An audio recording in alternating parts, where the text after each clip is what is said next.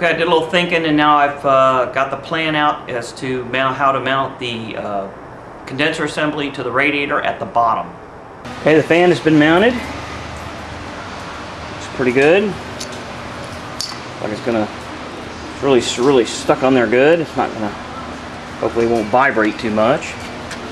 I went ahead and put cardboard beads back on this side. Of course, I've made little holes for the the nut that holds the the fan on. So now it's just a matter of starting to mount the uh, condenser, which will be mounted against the bottom down here, and that's going to be next.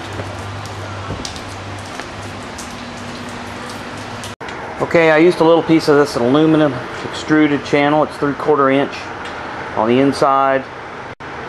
So basically I cut a little piece of this off that was the same length here is the, uh, the AC condenser and the radiator. So basically I've got this little piece pinched between these two with these six bolts here. I haven't done anything to support the top yet so it's just bolted on there at the bottom but it fits really good. So uh, now I'm working on getting this to fit inside the front of the bug's nose